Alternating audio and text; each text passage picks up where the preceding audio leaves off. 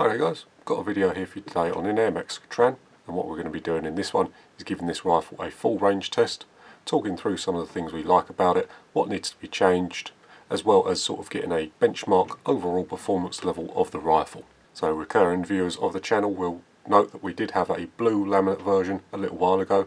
That was a rifle we borrowed off a friend and we liked it so much that we actually went out and bought one. We went for the red laminate version they do this rifle in green, red, blue and also a black tactical finish.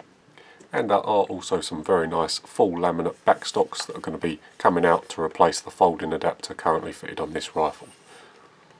And I'm very much looking forward to getting my hands on one of them. But before we get into all of that, I just want to say a big shout out to the lads over at Crawley Surplus Store. So this isn't a sponsored video or nothing like that. We do buy all our own equipment, all our own rifles. No one gives us nothing but they do perform an absolutely fantastic service. The shop there is well maintained, well stocked, it's got everything you could ever want. The people in there are friendly and it's really good atmosphere. They stock everything from your budget end springers all the way up to your FXs, your Daystates, your Airmaks. They even had some Eurogans in there when we was looking. So a fantastic range of stuff. And if you haven't been down there before, you really do need to check it out. That being said, I'll show you the setup down the range and we'll also show you some shooting footage. What I thought we'd do first is just take a look at our setup down the range. So we've got the rifle on the sandbags there. Next to it we've got a wide selection of pellets. Every single one of them tins was put through the rifle. We made a short list of the best ones, then the best ones were put head to head with one pellet coming out on top. We got the chrono there, and then finally, all the way down the range, 50 yards, is our targets. Once we'd tested all the pellets, found our best one, in our case it was JSB Express, it was time to move on to the shooting. Whilst you're seeing the groups I thought we'd just talk briefly about the shooting experience, what we liked and what we didn't like about the rifle. The mechanics of the rifle really do work well. The shot cycle is very very smooth, there's no notchiness, no graunchiness, the cocking effort that's lovely and light and because the hammer is a lever system the trigger can be fantastically light so operating and shooting a rifle really does feel nice, as does the magazine. So we tested the magazine against a single shot loader and found very very little difference at all. I think there was a slight edge when using the single shot loader, but 90% of the time you would never be able to tell the difference between loading from a mag and loading from a single shot loader. So that's a very good sign. Shows that the mags are working correctly and there's no problems with alignment or anything like that. As you saw at the beginning there, we did have the chrono set up. We did do a full shot string of the rifle.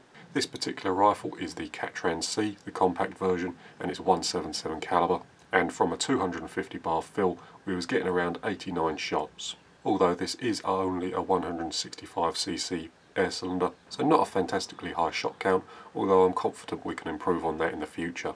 Over those 89 shots the maximum feet per second deviation was 13. Over a whole shot string that's nothing to be sniffed at, and I'm happy that the regulator is working as it should. But I'm confident with a little bit of work we'll be able to increase the shot count and also shave a little bit over the extreme FPS deviation. Right then, on to the bad points. If I'm honest, there isn't really much I can complain about with this rifle. The grip's a little thin, and the buttstock's a little spindly, but if I'm honest, it's not really designed as a bench rest rifle.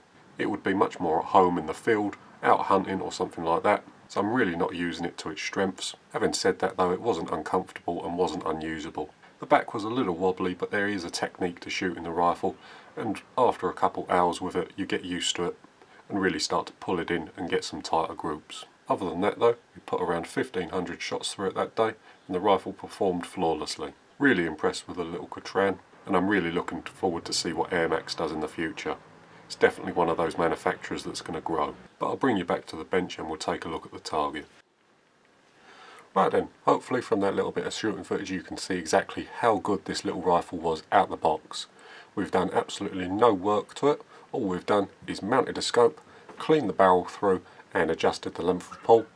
But apart from that, it's exactly how it came out of the box. So I've got the targets here. So this one is the one we shot for the camera. So if we look, these ones at the top here are sighters, just to get the scope in and to make sure we was using the right pellets. And then these 16 groups here were the ones we shot. The average edge-to-edge -edge group was 17.9 millimeters edge to edge and if we were to take out the flyers, the erratic ones, that brought the average down to 15.5 mil. So from an out of the box rifle that's absolutely fantastic. And that was using unweighed, unsalted pellets straight out of the tin into a magazine. So probably if we used a single shot loader that might have even tightened up a little. So over the moon with how this thing performed straight out of the box. Right then, so before you go I just thought we'd talk a little bit about what we're going to be doing with the rifle on the channel. So first things first, I think we're going to be making a new shroud. This one looks very nice, but it doesn't really quieten down the rifle that much. It's quite noisy and even with a moderator attached, it still does have a little bit of a bark. So we're going to be making a nice new carbon fibre shroud, hopefully to quieten it down a little. And obviously we'll be sticking a half inch UNF so we can add additional moderation onto it. The next thing we're going to be doing is having a look at the barrel and maybe giving it a little bit of a polish. We were seeing a couple extra flyers on the shooting results and normally when that's the case the barrel could use a little bit of a polish.